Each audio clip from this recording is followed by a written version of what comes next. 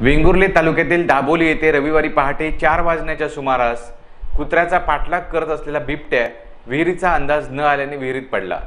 वीस फूट खोल पाणी असलेल्या विहिरीत पडून बिबट्या आणि कुत्र्याचा मृत्यू झालाय. वन कर्मचाऱ्यांनी स्थानिक ग्रामस्थांच्या मदतीने बिबट्याला आणि कुत्र्याला बाहेर काढलंय. वेंगुर्ले तालुक्यातील दाभोली नांगडेवाडी येथे रविवारी पहाटे चार वाजण्याच्या सुमारास कुत्र्याचा पाठलाग करत आलेला बिबट्या आणि कुत्रा विहिरीचा अंदाज न आल्याने विहिरीत पडले. वीस फूट खोल पाणी असलेल्या विहिरीत पडून दोघांचाही मृत्यू झाला. वनकर्मचाऱ्यांनी स्थानिक ग्रामस्थांच्या मदतीने मृत बिबट्याला आणि कुत्र्याला विहिरीतून बाहेर काढले. दाभोली नागडेवाडी येथील दादा पेडणेकर यांना पहाटे चार वाजण्याच्या सुमारास त्यांचा कुत्रा जोरजोरात भुंकत असल्याचे ऐकू आले. ते बाहेर आले. त्यावेळी बिबट्याने त्यांच्या कुत्र्याची पाठ धरली होती. त्या झटापटीत अखेर कुत्रा जवळच्या विहिरीत पडला. त्यापाठोपाठ बिबट्याही विहिरीत पडला.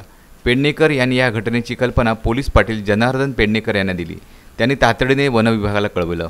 सकाळी आठ वाजता वनविभागाचे अधिकारी व कर्मचारी घटनास्थळी दाखल झाले. विहिरीत वीस फूट खोल पाणी असल्याने त्यात पडलेल्या बिबट्या आणि कुत्रा हे विहिरीच्या तळाशी गेले होते. अखेर ग्रामस्थ प्रसाद हळदणकर प्रवीण बांदवलकर प्रफुल्ल बांदवलकर व विठ्ठल गोवेकर हे त्या खोल विहिरीत उतरले. त्यांनी विहिरीच्या तळाला मृत अवस्थेत असलेल्या वाघाला ग्रामस्थांच्या सहकार्याने बाहेर काढलं. मृत वाघाचा पंचनामा करून वन विभागाने तो आपल्या ताब्यात घेतला आहे ब्युरो न्यूज कोकण नाव सिंधुदुर्ग.